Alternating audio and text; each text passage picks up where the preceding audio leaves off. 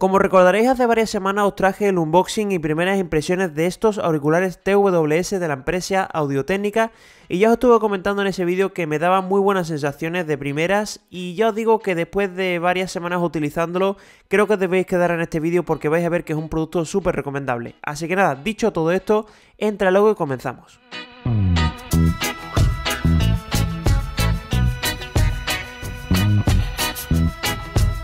Y antes de comenzar me gustaría decir que por supuesto nos podéis seguir a través de todas nuestras redes sociales, por supuesto también os podéis suscribir a este canal y comentar absolutamente lo que queráis.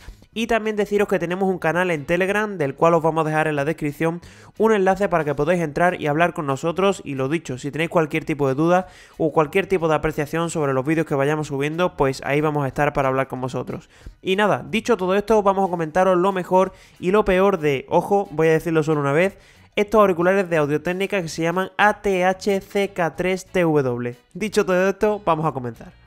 Venga, y vamos a comenzar hablando por lo peor, como siempre solemos hacer, y el primer punto la verdad es que lo tenía súper claro desde el momento que empecé a utilizarlos, y es el tamaño excesivo que tiene la caja. Sí, lo sé, tiene muchísima autonomía, pero es verdad que la caja es súper incómoda a la hora de llevarla en un bolsillo, y además también eso añadido a que no podemos saber la autonomía que tiene, es decir, en nuestro teléfono no vamos a poder saber pues si le queda un 20, si le queda un 30, es decir, no podemos saber la autonomía, solo la de las auriculares.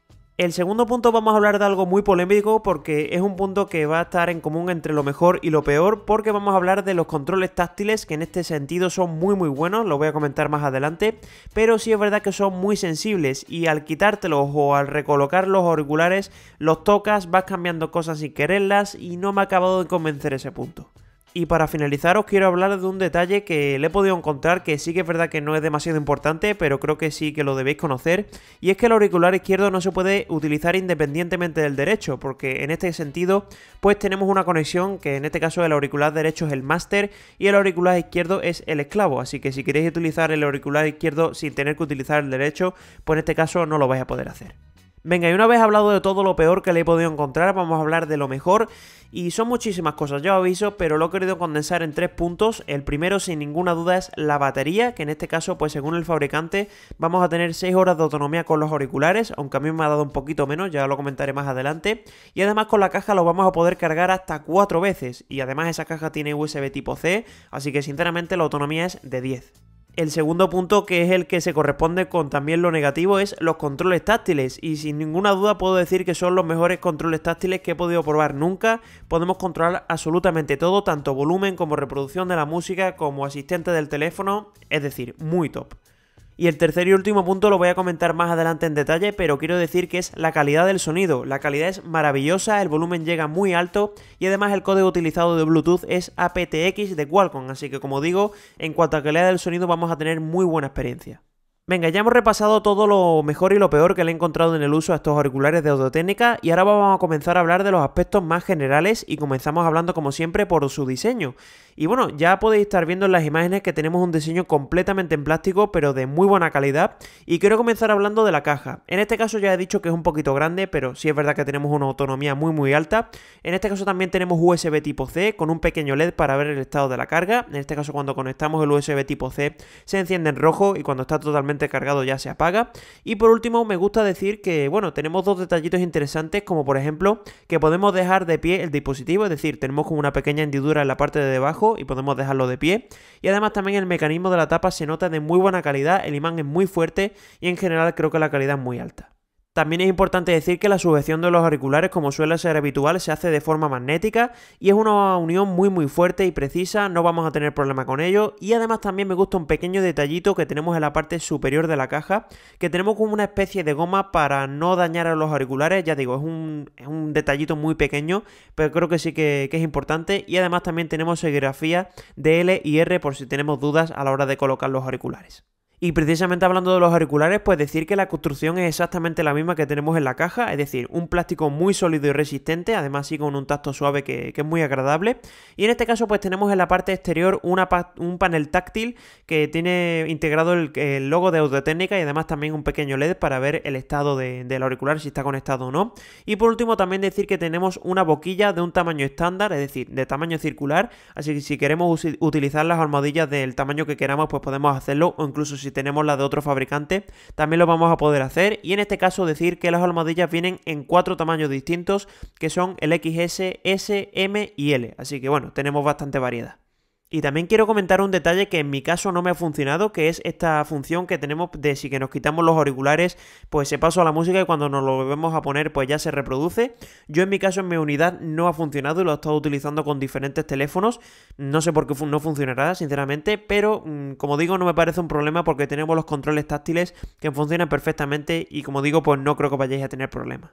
Y ya para finalizar el diseño, no hemos hablado de los colores disponibles, que en este caso en el mercado español solo se van a poder comprar en color blanco y en color negro. Ya veis que en mi unidad es un color blanco.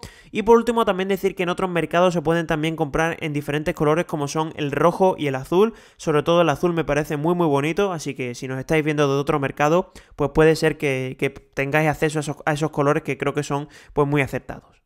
Y vamos a pasar ahora a hablar de la autonomía de este dispositivo y quiero comenzar hablando del peso, que en este caso tenemos solo 4,7 gramos por cada auricular y el conjunto, es decir, también con la caja, va a pesar 50 gramos, así que el peso no va a ser ningún problema.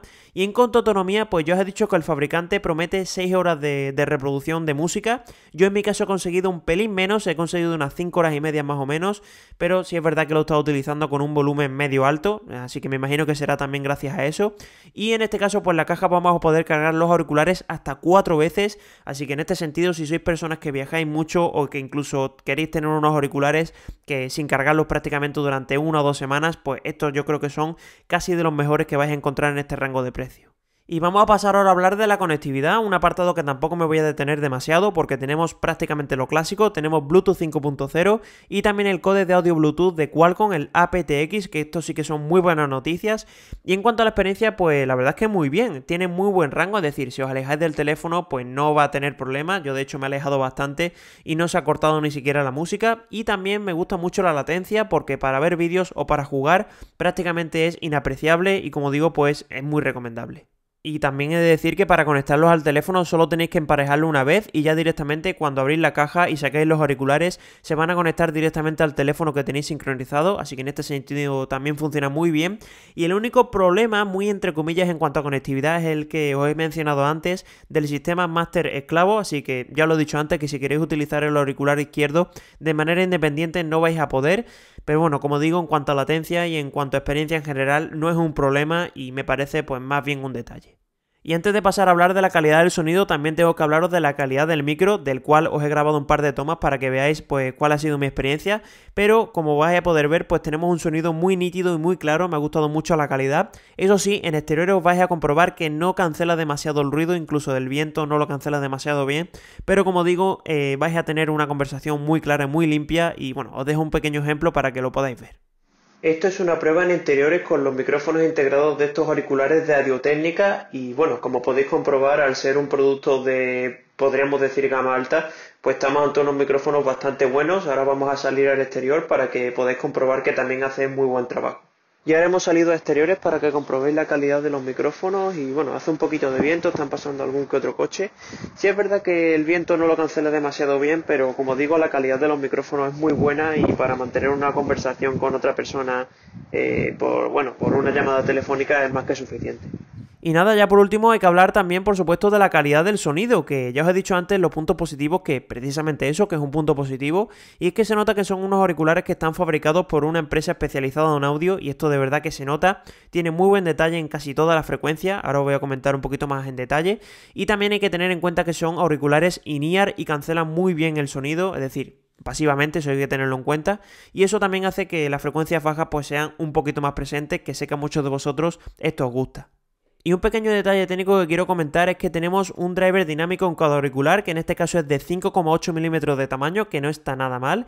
¿Y en qué se traduce todo esto en la calidad del sonido? Pues bien, en cuanto a frecuencias bajas, la verdad es que están muy controladas y no se comen en ningún momento a las frecuencias medias. Es decir, están presentes y son muy frontales, pero en cuanto aparecen esas frecuencias medias quedan en un segundo plano, eso sí, siguen estando ahí y además con un muy buen equilibrio.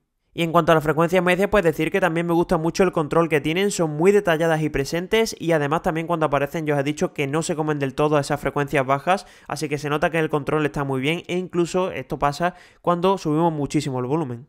Y ya por último hablar también de las frecuencias altas, que en este caso yo creo que son las que menor control tienen, sobre todo a altos volúmenes se pasan un poco de frenada, eso sí, no llegan a ser sibilantes, pero sí es cierto que cuando aparecen pues cuando más se dejan notar y sobre todo dejan en segundo plano las frecuencias medias y las frecuencias bajas, pero bueno, tampoco me parece un problemón, no creo que sea algo súper importante y como digo, pues es un pequeño detalle que quería comentar. Y en resumen de la calidad, pues puedo decir que sin duda yo creo que son los mejores auriculares TWS que he probado. Eso sí, hay que tener en cuenta que no he probado todos los del mercado, pero como digo, se disfruta todo tipo de música, son muy versátiles y son capaces de reproducir casi todo de una manera correcta, así que en general puedo decir que la calidad del sonido me ha gustado muchísimo. Y nada, hasta aquí llega mi análisis de estos auriculares de audiotécnica. Recordad los ATH CK3 TW, os lo dejo en, el título porque si no os vais a hacer un lío.